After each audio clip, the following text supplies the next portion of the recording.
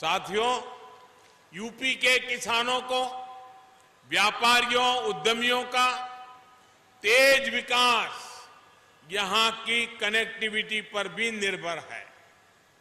इसके लिए योगी जी और उनकी सरकार एक प्रकार से एक्सप्रेस गति से काम कर रही है। बुंदेलखंड एक्सप्रेस वे हो, पूर्वांचल एक्सप्रेस वे हो या फिर प्रस्तावित गंगा एक्सप्रेस वे। ये यूपी में कनेक्टिविटी तो बढ़ाएँगे ही, रोज़गार के भी अनेक अवसर तैयार करने वाले। पहले एक्सप्रेस वे सिर्फ़ दिल्ली, मुंबई जैसे बड़े बड़े शहरों में देखने को मिलते थे। अब चित्रकूट, बांदा, महोबा, हमीरपुर, जालौन औरैया, ऐसे ऐसे इलाके के लोग भी आधुनिक एक्सप्रेस वे का लाभ उठा पाएँगे। करीब 300 किलोमीटर की आधुनिक सड़क जब तैयार हो जाएगी तो आप बहुत कम समय में सीधे लखनऊ और दिल्ली पहुँच पाएँगे। भाइयों और बहनों, ये आधुनिक इंफ्रास्ट्रक्चर यहाँ नए उद्योगों नए उद्यमों को वो विकसित करेगा।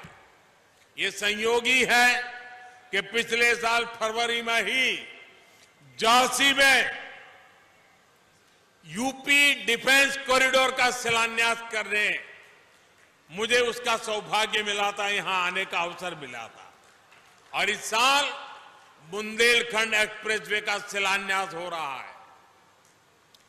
इस साल के बजट में यूपी डिफेंस कॉरिडोर के लिए तीन हज़ार सात सौ करोड़ रुपए का प्रावधान किया गया है। इन दोनों योजनाओं का आपस में गहरा नाता है।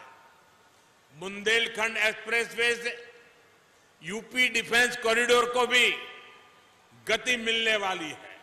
साथियों, एक समय में ये क्षेत्र भारत की आज़ादी के क्रांति क्रांतिवीरों को पैदा करता रहा है और आने वाले समय में ये भारत को युद्ध के साजो सामान से आत्मनिर्भर बनाने वाले क्षेत्र के रूप में भी जाना जाएगा।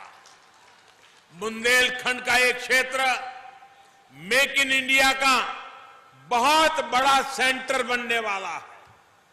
यहाँ बड़ा साजो सामान पूरे विश्व में निर्यात भी होगा। जब यहाँ बड़ी बड़ी फैक्ट्रियाँ लगनी शुरू हो जाएगी तो आसपास के छोटे और लघु उद्योगों को भी व्यापक लाभ होगा। यहाँ के किसानों को भी लाभ होगा। इस तरह रोज़गार के अभूतपूर्व अवसर यहाँ बनेंगे और हर परिवार की आय में बढ़ोतरी होगी। भाइयों और बहनों आधुनिक इंफ्रास्ट्रक्चर का, यहाँ के पर्यटन उद्योग का, उसको भी इसके कारण बहुत लाभ होगा। चित्रकूट में तो प्राकृतिक सौंदर्य भी है और आध्यात्मिकता का भी गहरा वास है। प्रभु राम के चरण जहाँ जहाँ पड़े, उनको जोड़कर रामायण सर्किट के रूप में विकसित किया जा रहा है। चित्रकूट इसका एक अहम पड़ाव है।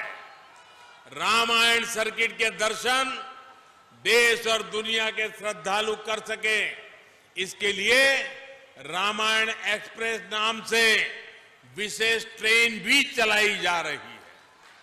आने वाले समय में जब यहाँ का इंफ्रास्ट्रक्चर विकसित होगा तो यहाँ श्रद्धालुओं की आवाजाही भी अधिक होगी, जिससे यहाँ के युवाओं को रोज़गार के नए अवसर यहीं पर उपलब्ध होंगे। मुझे विश्वास है कि चित्रकूट से, बुंदेलखंड से, पूरे यूपी, पूरे देश की आकांक्षाओं को एक्सप्रेस रफ्तार मिलेगी। तब तपस्या और तेज की ये पावन भूमि नए भारत के सपनों का एक अहम केंद्र बने। इसी कामना के साथ, इस क्षेत्र के सभी नागरिकों को, आप सभी को विकास योजनाओं की मैं बहुत बहुत बधाई देता हूँ।